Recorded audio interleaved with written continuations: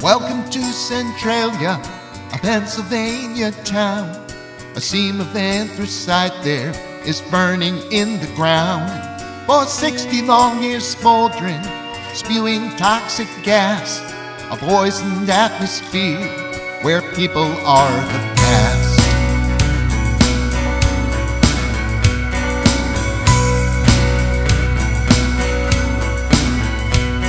It started at the landfill back in 62.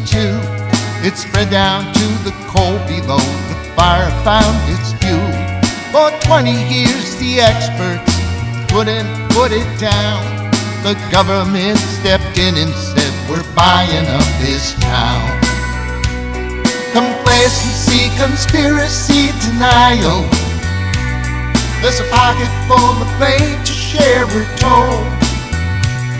Now empty streets stretch across the miles While the fire keeps burning down below. Fire in the hole. Fire in the hole.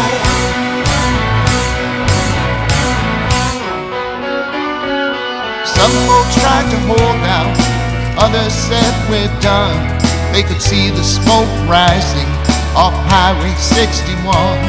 And they took what little that they could and left their friends in town and prayed they'd not been ruined from the fire in the ground. Complacency, conspiracy, denial. There are pockets full of fame to share, we're told. Now empty streets stretch across the miles while the fire keeps burning down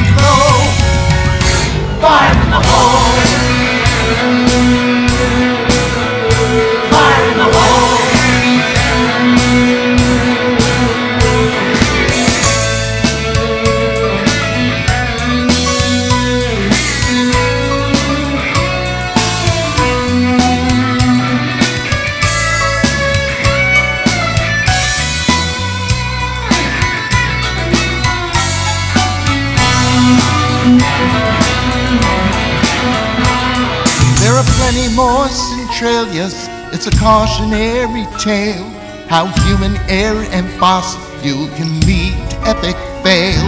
If you wait for the sinkholes to appear in your town, you'll find human misery with the fire in the ground.